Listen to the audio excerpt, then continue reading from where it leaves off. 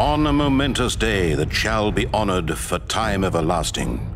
Our glorious empire at last heralded the coronation of Her Majesty Empress Jamyl.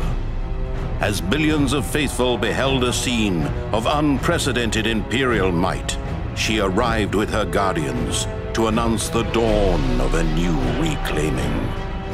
The legacy of her reign began with a decree to every soul of New Eden. Am the harbinger of hope.